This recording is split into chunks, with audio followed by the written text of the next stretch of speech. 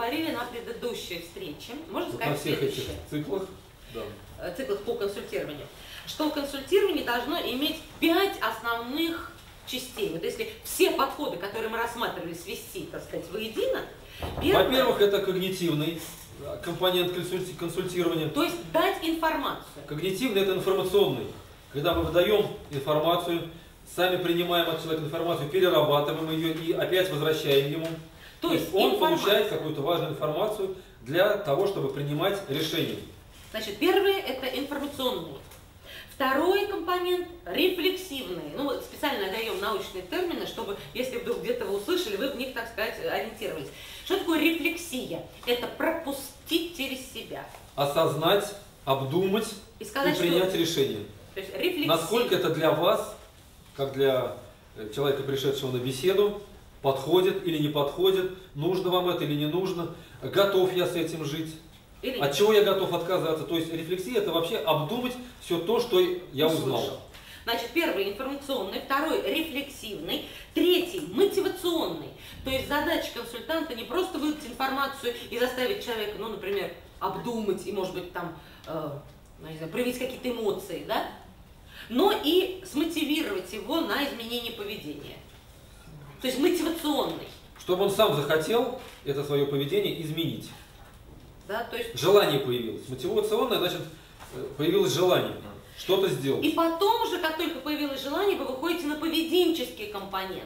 То тут кстати, все уже, говорят, а что делать, если он не хочет ничего делать? ну, нет, значит, Значит, вы его не смогли смотивировать Или он сам не хочет э, мотивироваться. В конце концов, вы оба личности, вы оба, в общем-то, где-то, может быть, вы не сработали, а может быть, где-то он просто не захотел. Но в любом случае, ну, это произошло. Все. Значит, стоп, дальше не идем. Четвертый это поведенческий, который уже показывает, какие действия нужно предпринять и что человек делает, предпринимает в реальности, Ну и чтобы послед- получить необходимый результат. И последний пятый, который объединяет все четыре предыдущих и является таким детерминирующим, то есть э, главным, базисным духовный. фундаментом и крышей, так сказать. Это духовный компонент. То есть вот именно то, с чего мы начали, что должно быть отношение двух личностей. Я, ты. Не отношение я, оно, но я, ты. Так же, как к нам относится Бог. Потому что Бог нас видит личности. И осознание Божьего замысла в отношении конкретного человека. То есть то, что мы говорили в самом начале. То есть еще раз, значит, информационные компоненты, рефлексивный, то есть пропустить через себя, человек должен все, что узнали, а, мотивационный, смотивировать на что-то изменить в своей жизни, и выработать правильное поведение, и все это в духовном компоненте. Да, вот все, вот практически все, что мы говорили, вот видите, сейчас мы за пять минут с вами сделали такое небольшое резюме. И вот эти все компоненты а, как бы можно реализовывать двумя путями. Есть два пути в душепопечительстве. Во-первых, это индивидуальные встречи.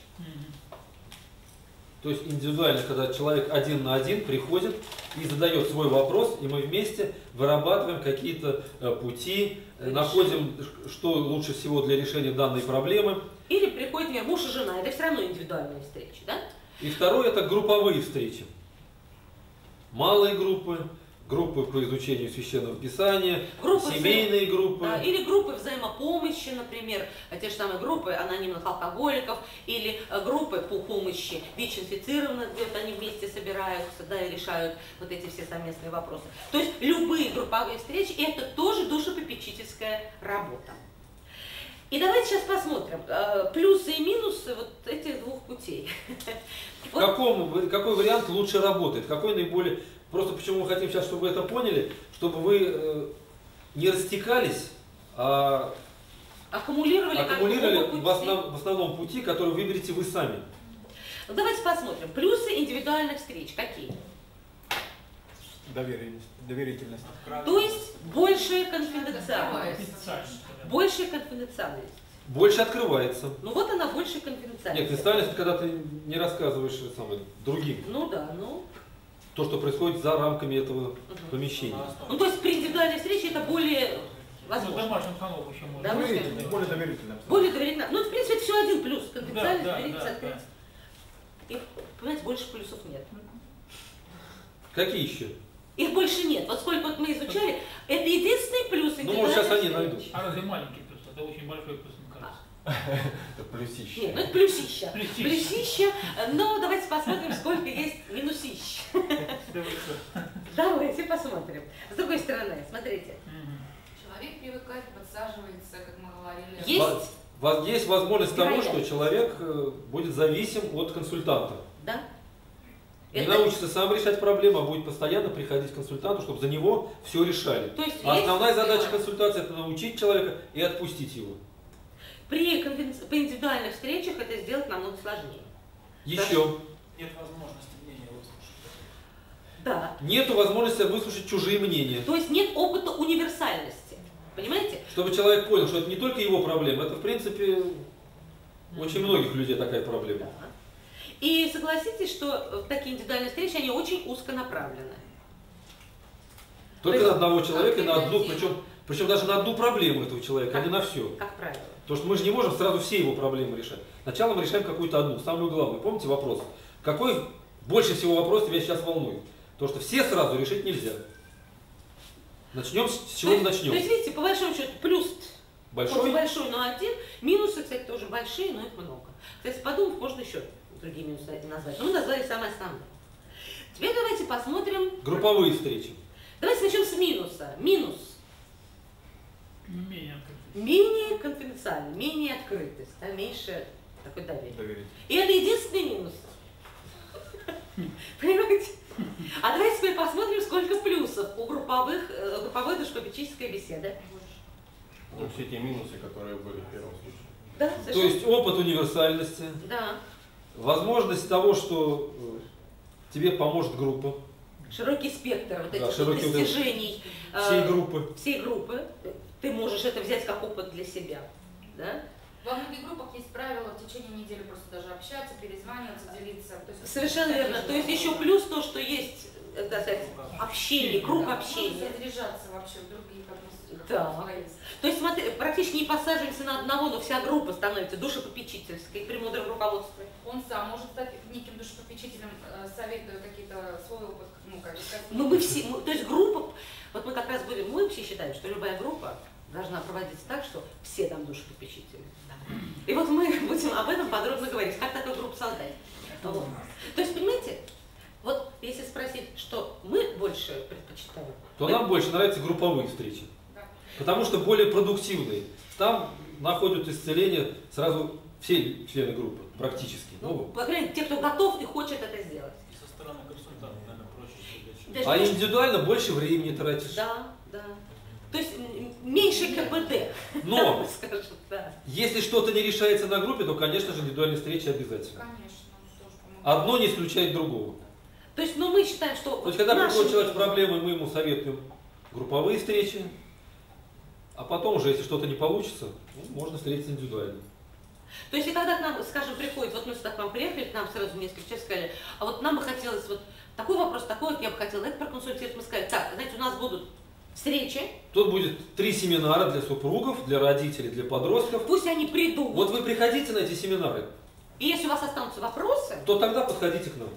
Потому что сейчас, получается, мы с вами встретились, мы должны будем вам лично сейчас всю информацию выдать, которую мы обычно выдаем на Широкий круг. Ну, представляете, во-первых, это наше время, это наши э, силы, это все. Ну, и потом зачем, если вот в большом круге они поймут, что это для всех работает, не только для них.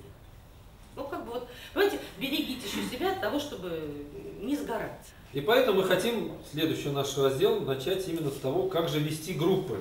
Так, чтобы ведение группы, тут написано у нас ведение группы супружеских пар, вы уберите слово супружеских пар, это вообще ведение группы духовного и личностного роста. То есть вообще это ведение группы духовного и личностного роста. То есть следующая наша тема – это как вести группы духовного и личностного роста. То есть душепопечительство в групповой работе. Вот так будет называться наша тема. Групповая терапия. Да, как угодно можно назвать это, да. Итак, цель такой группы. Вот давайте сейчас посмотрим. Цель такой группы Дать каждому члену стимул к самообразованию. или к тому, чтобы проводить самостоятельное изучение Писания. Ну, смотря какую вы ставите цель, но в любом случае, чтобы человек рос, самообразовывался. Второе. Дать возможность зайти за рамки собственных познаний, обратившись к идеям других и побуждая себя к новым поискам ответов на все возникающие вопросы. То есть э, важно, чтобы группу вел не один лидер, а чтобы группа работала сама на себя. Вот если вы, как лидер, сумеете сделать такую вещь, что вы сами будете идти в группу с ожиданием того, что что же сегодня группа откроет мне, вот это здорово.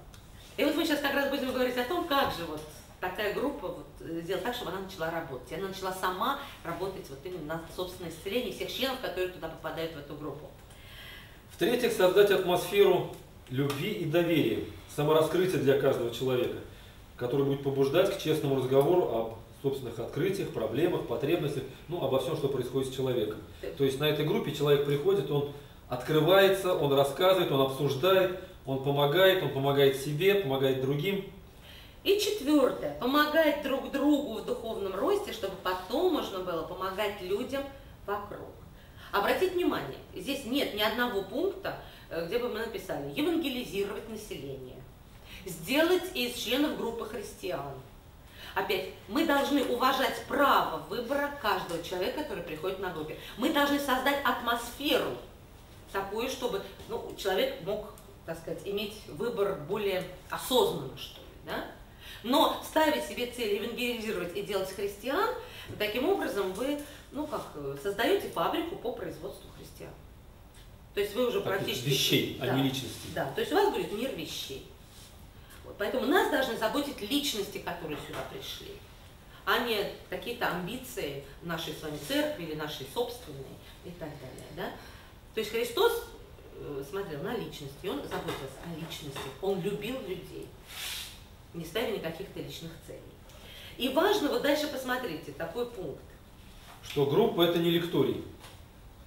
Э, Это возможность проводить дискуссии и совместно находить ответы на вопросы. То есть не должно быть такой истины в последнем инстанции, которой владеет только один человек. Вся группа принимает участие в поиске этой истины. И вот если все... Помните, что Библия это бриллиант. Да. И вот если все эти вот цели, так сказать, суммировать в одном предложении, мы обычно говорим так. Группа нужна для того, чтобы научить людей мыслить. Вот все вот эти четыре пункта, может это внести в пятый пункт, но мы считаем, что это вот все, вот если сказать, группа должна научить людей мыслить. Вот, понимаете? Не просто принимать информацию, а чтобы люди научились мыслить. Вот, и сейчас мы просто хотим э, сказать такую вещь, что вообще существует Три типа э, мышление. мышления у человека. По мере его роста или по мере того, как он взрослеет. Ну, неважно, И по мере того, как он в какую группу в попадает, какую, поря- в какую группу он попадает, э, та, тот тип мышления у него и появляется. Первый тип мышления это наглядно действенный. У вас этого материала нет, поэтому вы подпишите где-то вот эти три типа мышления. Значит, первый тип мышления – это наглядно действенное мышление. То есть показали, и он так и делает. Наглядно действенный. Увидел, делает так же. Ну, например, скажем, маленький ребенок, и вы говорите ему, вот это Домик. домик.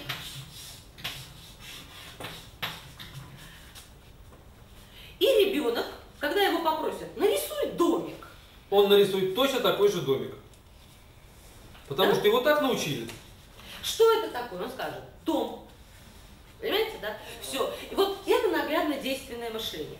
Человек приходит в церковь, на эту э, песню все встали. И я встал. Наглядно действенно. Тут все сели.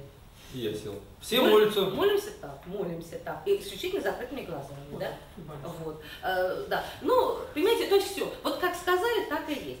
В общем, по большому счету, скажем, закон Моисея, это не что иное, как, в общем-то, Наглядно наглядно действенный. действенный. Если так поступил, вот так сделай. Если так поступил, вот так сделай. За это Вот. Горлицу принесите в жертву, за, За это, это, овна нужно принести, за это уже бы. Ну, то есть это овна самое мало, прост- надо быка. Да, это самое простое, это самое доступное, это то, что доступно 100% людей. Понимаете, да? То есть мы сейчас не говорим хорошо или плохо, мы говорим, что это доступно, это нормально, это себя оправдывает во многих как бы вот э, моментах. Да? Но это как бы первый уровень или первый тип, как угодно, да? Первый тип, основной, так сказать, Да. с которого все начинается. базовый такой, да? Но обратите внимание, когда пришел Христос, он разговаривал с людьми как? Притчами. притчами. И вот э, И он уже рисовал образы. и это уже э, Второй тип мышления, наглядно-образный. То есть по мере того, как э, идет разговор, вот, ребенок опять человек к ребенку. Да, начинает понимать, что дом-то не только такой может быть, но и вот это вот тоже дом.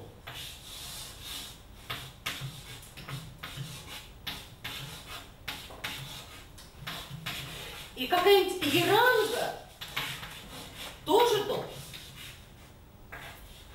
Понимаете, да? И может быть какая-то, э, там, я не знаю, землянка тоже дом. То есть у ребенок уже любую постройку ассоциирует со словом дом. Это уже шире, чем наглядно действенное. Это уже образ дома рисуется. Э, наглядно-образное. Можно молиться так, можно молиться так, можно молиться так. В общем-то, молитва уже рисуется как не как вот делай так и никак иначе. Да? А молитва вот уже в образе молящегося человека, в образе благоговеющей личности. Понимаете, да? Вот разница. А и то, и то, и то молитва. То есть человек уже более способен в себя вместить. Ну вот, может быть, чтобы понять, что такое притчи, как это работает на наглядном действенном мышлении, Откройте притчи, самую первую главу, самую первую притчу. с первого стиха. Вот здесь как раз э, говорится о всех тех плюсах э, того, что если человек выходит на уровень вот такого наглядно-образного мышления. Почему об этом очень много уделяется внимания священному писанию и вообще психологии, если вы будете изучать, вы это увидите, такому вот именно притчам, э, образом, которые рисуются. Потому что на первых двух образах мышления, вот этих типах мышления, э, находится 85% населения. Вам вот эта цифра ничего не? Ну, 75. Вчера мы говорили о том, что 85% населения сидят на первых уровнях На веры. первых трех Э, То же самое здесь. На первых вот этих уровнях мышления наглядным действием, наглядным образом сидит 85%. То есть большинство практически людей в нашей церкви на этом уровне. Поэтому чем И это лучше мы будем- понятно людям. и чем лучше мы будем говорить образом, тем больше будем иллюстраций давать, тем лучше поймут нашу с вами мысль. Поэтому не пренебрегайте иллюстрациями, не пренебрегайте притчами, не пренебрегайте образами, потому что 85% вашей паствы способны вместить мысль, если вы ее иллюстрируете. Итак, притча Соломона, царя Давидова, сына Давидова, царя Израильского. И, для и он и дальше сообщается, зачем нужны притчи. Смотрите, чтобы познать мудрость. Что такое познать мудрость? Значит, Что значит познать мудрость? Это значит не на словах только, но всей душой эту мудрость так сказать, Впитать в себя. Дальше. Чтобы познать наставление. Э, Что такое наставление? То есть сделать сознательный выбор в пользу того, что я услышал. Не просто так сказали, сделал, сказали, сделал. Но это сознательный выбор, понимаете? Вот познать. Смотрите, что дальше. Понять изречение разума. Что такое? То есть не просто какие-то умные фразы вам сказали, да? А понять, что это Какая мысль содержится в этой умной фразе? Притча, понимаете, играет огромнейшую роль вот в, в том, что мы учим людей мыслить и размышлять. Смотрите дальше. усвоить правила благоразумия. Вспомните, как э, пророк Нафан, Пришел к Давиду, к царю, чтобы его сообщить обличить, ему о том, что он согрешил, как он убил начал- невинного человека. С чего он начал разговор? С притч. Да, С притчи. все. Все. И Давид осознал, осознал вот эти вот... э, Что есть правила, которые нарушать не имеет даже царь. Не имеет права. Смотрите дальше. Усвоить правила правосудия, суда и правоты. Ну это все, да, правила. Вот это эти все правила. Простым дать смышленность. Помочь подняться вот от наглядно-действенного образа, вот этого, который вот так показали, так сделал. Вот только вот этот домик, больше ничего. Искать смысл. Да, но Простым искать дать смышленность, искать, а что еще может быть дома? Вспомните, Пушкин и его няня Арина Родионовна. Ведь вот эта женщина, Арина Родионовна, известна во всем мире как мудрая женщина. Женщина совершенно необразованная. Но это женщина, которая была не, не на уровне наглядно действенного. Сказал, сделал, сказал, сделал, как робот. Она, представляете, она была кладезем мудрости для Пушкина. Через Почему? все эти поговорки, сказки, сказания, которые она ему рассказывала, читала. Поэтому нам, например, очень, знаете, бывает больно, когда мы иногда слышим, а, что вот, если ты верующий, ты должен перестать читать сказки, ты должен прекратить там все вот эти глупости, только библейские Какой там Дед Мороз? вещи. Что это еще Ну, такое за послушайте, язычество? говорим мы, понимаете, ребенок живет в мире сказки. Именно через сказку строится вот его характер. Именно через сказку растет его личность. Ребенок живет в мире образов. Мы вчера с вами это смотрели. это. Да? Нельзя ребенка этого лишать. Э, ну, Взрослый тоже, конечно, то, то же самое. Но нам немножко другие, конечно, сказки. Да? Следующее, посмотрите.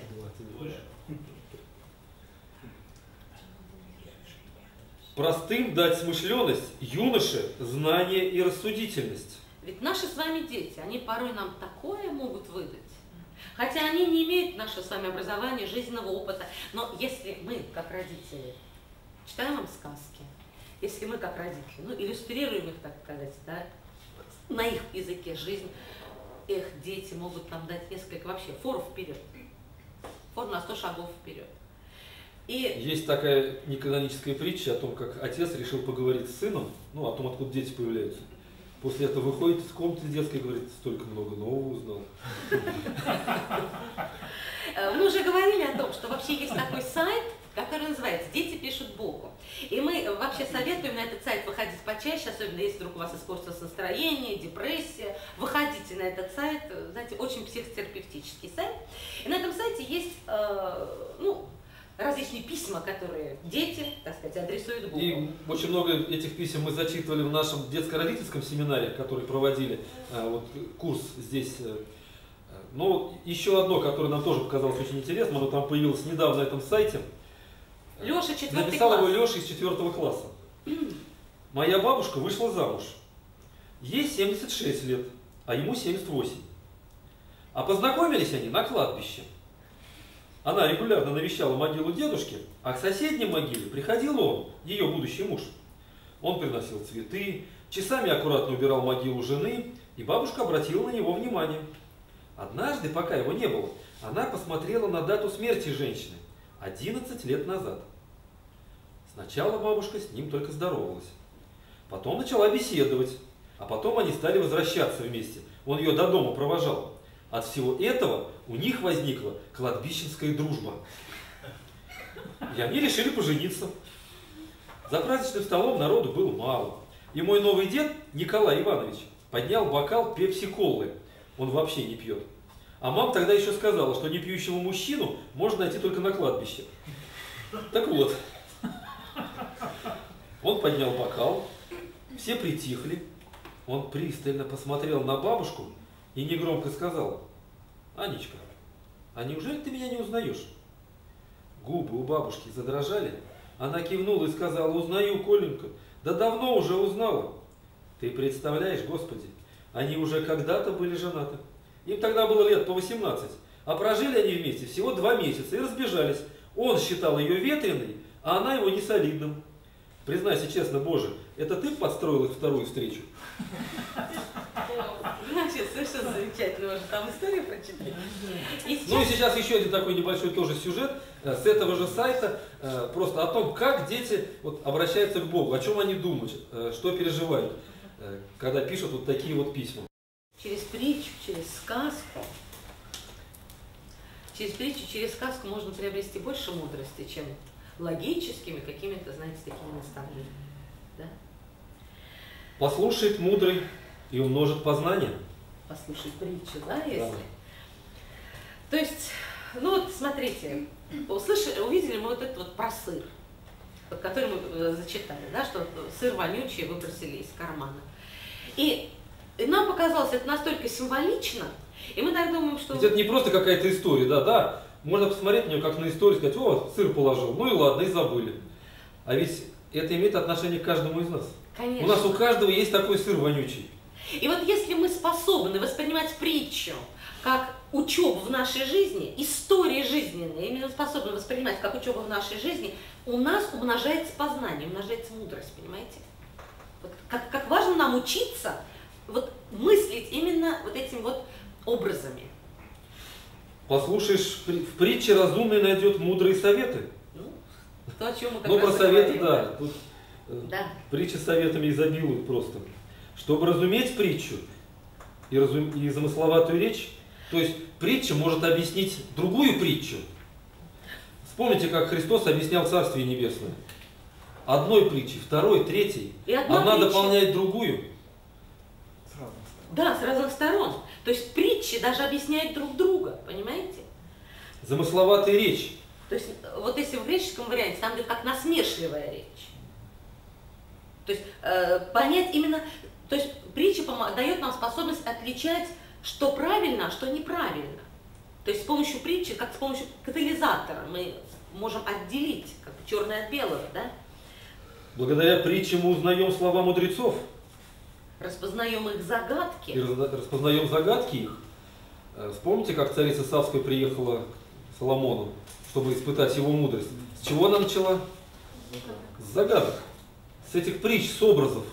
И вспомните ведь, что Соломон в основном притчами действовал даже на суде, когда он сказал, возьмите меч и разрубите этого ребенка.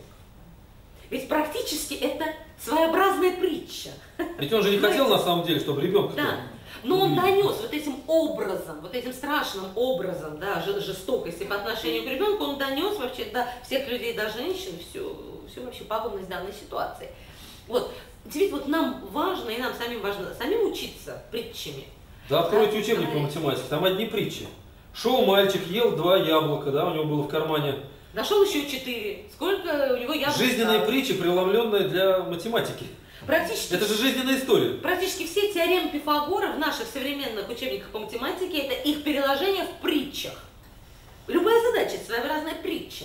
Понимаете? И вот если мы на наших группах будем с нашими, вот э, теми людьми, которые к нам приходят, будем вместе с ними развивать вот наше совместное, так сказать, образное мышление, да, наглядно образное мышление, все, мы учим людей мыслить, и мы учимся мыслить сами. Даже в школе, да? Вот азбуку возьмем, там арбуз, допустим, нарисуем на букву А, уже учат. Это, конечно, это уже это идет вот эта вот наглядность. Да, идет ассоциативное мышление. Поэтому вот это вот очень важно, этим нельзя пренебрегать. То есть, конечно, можно людей на клише. Клише, клише, цитирование, сколько выучили, э, там место списания, все наизусть. Но если каждое место еще и в притче, еще и в преломлении, вот, вот тогда, да, тогда идет действительно мышление. И следующий уровень мышления. Еще есть третий, который называется словесно-логический. И по подсчетам э, психологов на этот уровень э, приходят только 15% людей. Всего Словесно-логический. словесно-логически. То есть человек начинает понимать, что в принципе дом это не только деревянная постройка, не только кирпичная, каменная, блочная постройка, не только еранга или землянка, но еще и домашний очаг. Тепло, домашний уют – это дом. Можно простроить такую вот логическую цепочку? Но не все способны, понимаете, как-то вот пока не объяснят. как бы, понимаете? Но э, если человек владеет логическим мышлением, слово дом, он тут же сразу все понятие дома для себя возьмет. Или, например, молитва. Если на наглядно действенный человек нарисует только та молитва, которая в, той церкви, куда он ходит. Да? Именно так, как в той церкви, где он видит. Э, Наглядным образом, да, он может по-разному рисовать. А вот если словесно-логически, молитва для человека это просто вообще любое состояние. Человека вот Павел вообще не говорит, звуком. непрестанно молитесь. Идешь через дорогу, молись. Да мне смотреть надо, как машины фыркают. Сейчас даже на зеленый не перейдешь. Даже когда смотришь, молится. Это состояние сердца. Понимаете, то есть вот человек, обладающий логическим мышлением, он не нуждается ни в каких объяснениях. У, него- у него это раз логическая, шх, логическая цепо- цепочка выстраивается. Вот нам нужно с вами на группах что делать? Помогать людям, вот как бы, понимаете, выходить на этот уровень. Когда у них начинает четко срабатывать логика вообще в Лука отношении... пишет, «И так рассудилось мне, по тщательному исследованию всего сначала, по порядку тебе все описать, достопочтенный Феофил, чтобы и ты знал твердое основание того учения, котором ты уже наставлен». Это Лука 1.4. То есть необходимо знать твердое основание учения. Не просто как вот попугай повторять, потому что меня так научили. И да, конечно, понять это можно и в образах, но еще нужно, понимаете, вырасти дальше. И обратите внимание, вот апостол Павел, это как раз тот человек, который мыслил уже не образами, и который шел к людям, понимаете, он шел к людям больше как с логическим мышлением. Нет, образы у него тоже были, хотя помните вот образ, там, тело это не глаз, и тело это не одно ухо, да, но в основном вообще все его э, писания, они все э, логичны, они все построены только на логике. Причем это не всем понятно, потому что даже Петр, представляете, апостол пишет, 3 глава, 16 стих, 2 послание Петра. Есть у него нечто такое неудобовразумительное. Уж если для Петра многое было, что не Человек, облеченный такими духовными знаниями, Понимаете? на которого нам еще расти и расти. Но, да, действительно, Но именно благодаря Павлу, вот те сказания, те мифы, притчи, которые складывались о христианстве, были систематизированы, введены в определенную систему, в систему нового мировоззрения. Именно Павел это сделал. и это стало всеобщим мировоззрением. таким. И именно вот это он сделал эту систему нового мировоззрения, куда, понимаете, он интегрировал все предыдущие заветы между Богом и человеком. Это Павел сделал. Понимаете? Вот еще раз это подумайте, просто об этом уже как бы пишут, об этом говорят многие, и, и противовес- философы это признают. В противовес Павлу один царский такой министр, э, царю нашему самодержцу написал такое письмо. Русскому народу образование вредно, ибо образование помогает логически мыслить, а темным народам управлять гораздо легче. Ну да, как будет проще. Так не проще, это именно эти слова и есть. Это вот не то. Да. Понимаете, то есть мы с вами вот должны понимать, вот люди, которые пришли к, вам, к нам с вами на группу, мы хотим их оставить в состоянии темного народа и управлять ими. Вот И хотим- привести их к правильным ответам. да, хотим сделать из них христиан, сделали. Хотим привести их в церковь, привели. Вот эти они так пешки, и мы с ними делаем то, что мы наметили. Или же все-таки мы уважаем их личности, мы помогаем им мыслить, чтобы это было их решение, их вера, их стержень, их отношения с Богом. Э, Конечно, выбор за нами. Понимаете? Выбор за нами, да. ТВ-семинаре – благотворительный проект. Наш общий вклад обеспечит доступное христианское образование и формирование сотен служителей по всему миру. Поддержите наш проект молитвой и финансами. Информацию, о чем молиться и как пожертвовать, вы можете найти на сайте tvseminary.com. Да. Можно? Мгм. Вы не встречались со свидетелями Иеговы? У вас не было какой-то такой дискуссии с ними? Они, наверное, Они почему-то нас обходят стороной. Вот мне даже интересно с ними так вот побеседовать, поговорить. ну, Но в дверь к нам не стучатся. На улице не подходят. Если подходит, задают пару вопросов, говорят, ну, был приятный, уходит. Ну, Не знаю. Почему? э, да. Э, То есть мы считаем, что, в общем-то, действительно наша задача помочь людям вырасти, помочь начать мыслить. Да. Потому что иначе, если мы людей зомбируем, это, это секта. Это секта, это отношения, действительно, только отношения в мире вещей. Ну и, соответственно, следовательно, группа должна проходить каждый раз три основные этапа. Мы вот сейчас посмотрим, как вообще это работает. Причем это должно быть на каждой группе. Абсолютно на каждой группе должны быть вот эти вот три этапа. Первый это обзор. То есть, что конкретно говорится в этом конкретном месте. То есть, вы должны принимать внимание, что у вас на группе люди, кто-то из них, ему очень хорошо и приятно только на наглядно Действенном. действенном. То есть, он совершенно хорошо себя ощущает именно в обзоре. Вот написано, значит, так оно и есть. Что дальше думать? И отсюда следует Вася, выйди, да? Да, ну, например. Второе, что обязательно должно быть на группе, интерпретация. То есть вы как бы даете возможность тем, кому хорошо наглядно действенному, ну, поучаствовать или хотя бы послушать, что говорят люди на наглядно-образном, то есть вы уже вместе начинаете интерпретировать, то есть что имеется в виду. Потому что не всегда все то, что здесь написано, например, в Священном Писании, это все надо понимать буквально. Да? То, есть, Очень часто это какой-то образ. То есть что имеется в виду? Что вы здесь видите? Да? Какие вы здесь видите какие-то моменты? Что вам особенно открывается? То есть здесь вы как бы живете на следующий уровень.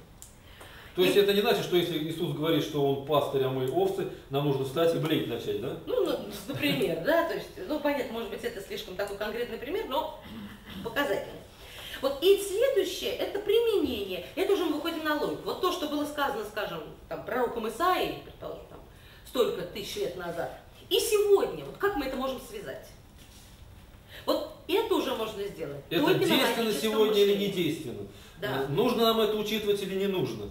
Э, Вот, вот эту логику простроить тем, что было тогда, через интерпретацию, что все это значит, как теперь мы это можем использовать.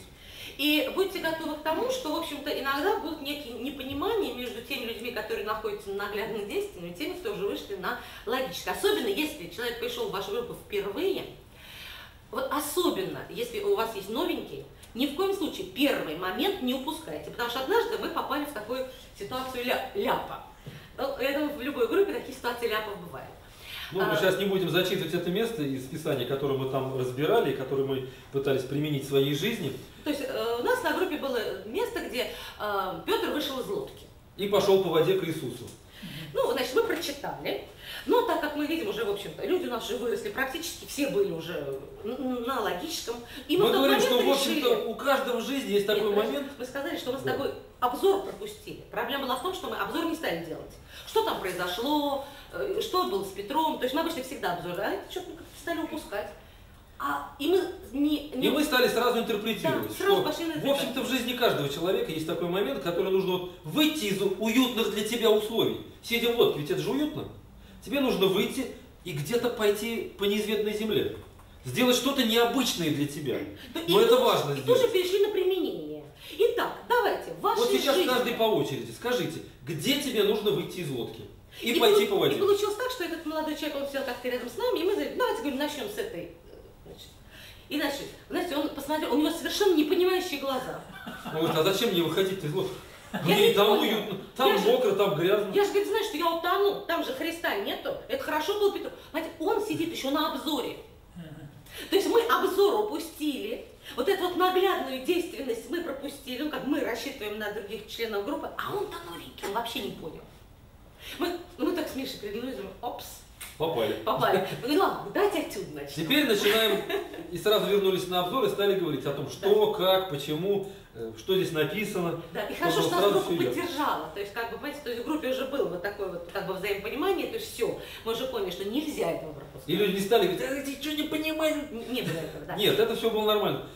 Все сразу увидели эту проблему и начали объяснять, рассказывать. И уже потом, когда остальные, так сказать, подключились в работу и сказали по поводу того, что как они видят свою жизнь, эту проблему, когда до него дошло, он уже где-то что-то уже смог как-то э, на свою жизнь, э, да, Применить к себе. применить к себе, да. Но ему действительно было сложно, то есть он был вообще вот в таком вот шоке. Поэтому, понимаете, вот эти вот три этапа, я не думаю, что вам говорят что-то новенькое, наверняка вы это уже проходили, вам говорили, что нужно обзор, интерпретация, применение. Мы просто хотим, что это еще важно именно с точки зрения учить людей мыслить. Вот. Ну и, э, значит, следующее, что мы сегодня успеем разобрать, или уже не успеем? Успеем. Успеем. Правила ведения группы, которым обязательно нужно следовать во время проведения Любых групп, каких бы то ни было. Во-первых, не рассказывать ничего, что могло бы поставить вашего близкого друга или- или супругу, супругу, Или вообще кого бы то ни было. что вы знаете об этом человеке, в неловкое положение. Несмотря на то, что группа, вот она должна одно тоже из таких правил соблюдать конфиденциальность, Но в любом случае это группа. Но мы не имеем права ставить человека в неловкое положение. Для этого э, ну, вот можно выработать, допустим, супругам какой-то знак. Там, пинуть под этим, под столом, кашлянуть два раза, локтем, Ну, по меня мере жена того, постоянно, ну, по мере того, как, чтобы я чего-то не то не сказал. ну, по мере того, как группа разрастается, мы просто сказать, давайте, знаете как, если вы не хотите, чтобы вот это говорили, просто сказать, пожалуйста, не говори об этом. Стоп. Стоп. Дальше не продолжаем. без вопросов, без всего. Прекращаем. И все члены группы это принимают. А второе, если вы не хотите отвечать на какой-то вопрос, вы имеете право сказать, я этот вопрос пропускаю. То есть э, не хочет человек бес- сейчас беседовать и быть... Заставлять отвечать нельзя. Ну-ка давай сейчас же правильный ответ. Но знаете, есть такой очень хороший прием, а может быть так сразу будем немного открывать. э, Эти приемы. Вот эти приемы, именно ведение группы, э, как человека подключать группе, к участию, к общению в этой группе. Особенно если у вас появились Потому что появился новенький человек, он еще не знает, что сказать, как сказать, еще чувствует себя не очень уютно. И вот первое время он будет сидеть, нет, нет, все, я, нет, не надо. Но чтобы он почувствовал себя причастным к тому, что происходит на группе, Мы пускаем какую-нибудь игру. у нас есть такой маленький зайчонок или медвежонок, там, ну, мы берем у детей наших вот, мягкую игрушечку такую маленькую, чтобы она в, в руке умещалась. Не, не такую, конечно, которую надо тащить, а маленькая игрушка. И мы говорим, ну вот, например, такой вопрос, вот, где нужно выйти из лодки, да, опять продолжая ту же самую тему. Где нужно кому-то, вот, конкретно каждому выйти из лодки. И мы пускаем игрушку. И по пускаем кругу. игрушку по кругу. Человек ее берет, и он может ее передать дальше, не отвечая на вопрос. А может, держа в руках, ответить и потом передать дальше. Но даже если человек подержал в руке, ничего не сказал и передал дальше, он уже причастен. Он, Он, уже, игрушку. он уже был в группе. Понимаете, да? Он причастен к разговору. Он уже почувствовал свою причастность. И Вот. следующий вопрос уже будет у него легче проходить. Вы знаете, очень Такие просто- маленькие тонкости. Тонкость вообще элементарная, но она так подключает людей. То есть люди, они все вот с этой игрушкой, все в группе вообще. То есть я прикоснулся к этой группе, я поучаствовал в суждении. Даже ничего не сказал, но он уже принимал Ну, участие. злоупотреблять не надо. Скажем, если вы подготовили, скажем, там 15 вопросов на этой группе, игрушку пускайте, ну, хотя бы раза 2-3. Э, Пусть остальное будет, ну, вот, как бы такое, Спонтанно. спонтанные ответы. Вот, но Но два-три вопроса, будут, которые будут идти по кругу. Вот вы пускаете игрушку, и каждый говорит по 3-4 слова. и обязательно устанавливайте временной лимит. Потому что можно взять эту игрушку и Да. начать рассуждать и проповедовать всем Да. остальным. Вот. И, может быть, даже устанавливаете лимит ответа. Скажем, говорить, вот этот ответ отвечайте только да, нет, без объяснения. А вот сейчас нам бы хотелось знать ваше мнение, ну, пожалуйста, вы вот давайте сейчас вот я вам даю две минуты, подумайте, что вы его сказали в двух предложениях. Ну, но как вы лимитируете, потому что иначе ваша группа может пр- превратиться в монолог двух особо разговорчивых людей. Вот. Это не группа ведения анонимных алкоголиков, я знаю, там другие. И там совершенно правила. А Вот, мы с ними в чем-то согласны, в чем-то не очень, но мы сейчас говорим вот о группе духовного роста. Я хотел бы когда такой бардачок начинается, как вы выходите из положения? А, Нет, дело в том, что у нас правила. Ну, а ну, всегда кто-то нарушает. Если кто-то Если начинает уже- говорить слишком долго, говорим спасибо, потому что игрушку. следующим надо тоже сказать свое, высказать свое мнение. Или просто говорим, так, спасибо, все. Все, Если- переключайте. если уже не получается, что делать? Как не получается? Ну, если его не слушают. Мы поворачиваемся вдвоем к другому человеку, и все. Ну, может, нас тоже двое ведущих, вижу, два повернулись, остальные тоже повернулись. Но, понимаете, если вы не будете группу вести, действительно будет бардак, будет хаос.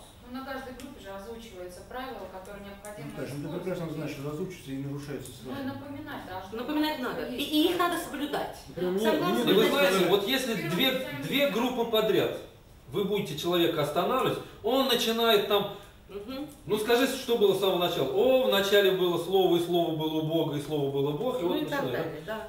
Все, спасибо, следующий.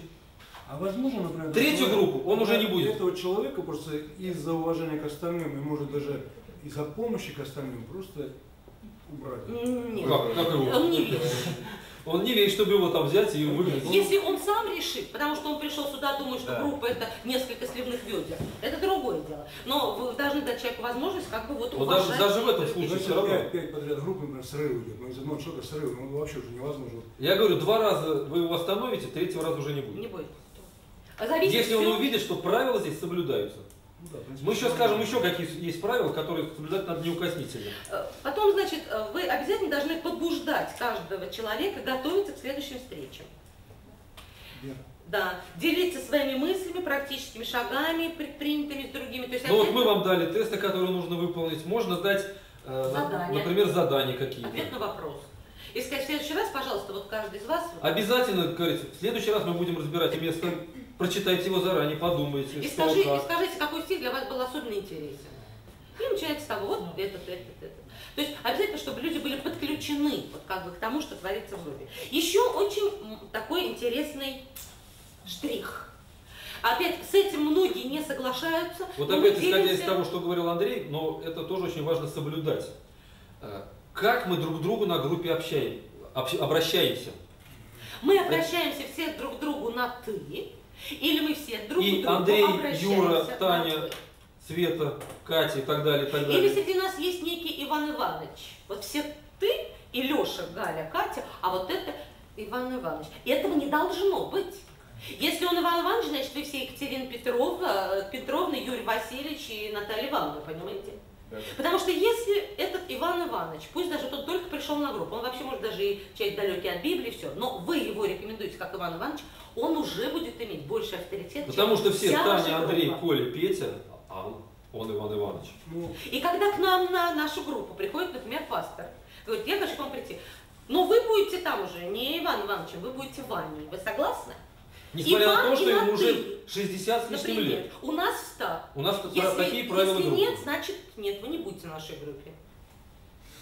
Потому что на Это этой все группе знают. мы решили, что мы обращаемся друг к другу по имени и на ты. У нас есть еще одна группа, где мы обращаемся только на вы и только по имени и отчеству. Вот туда приходите, и там вы будете Иван А я Иванович. хочу сюда, значит, здесь вы будете Но Ваня. здесь вы будете Ваня, все. И на ты.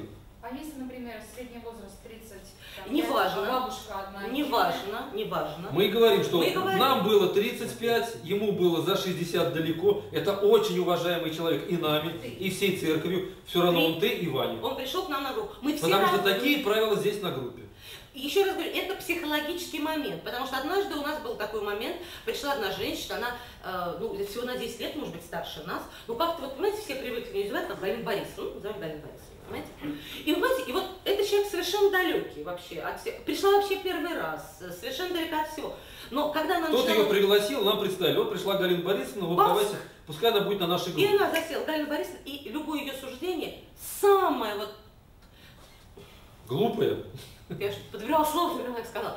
Воспринималось как Галина Борисовна сказала. Потому что все говорят просто, Ваня, а, а она Галина Борисовна. Авторитетно, да? Ни в коем случае. Ни вы не должны быть авторитетом. Мы все... Нет, опять, какую группу вы хотите? Если вы хотите быть авторитетом всех остальных, делать под себя, под свою цель, да, вы будете Иван Ивановичем, все остальные Галя Вася. Если вы все-таки работаете с личностями, значит, будьте на равных. Но опять, это наш опыт, это наше мнение, и мы вот, вот так работаем, мы видим результат, конечно, мы хотим упирать факт. Мы делимся своим опытом.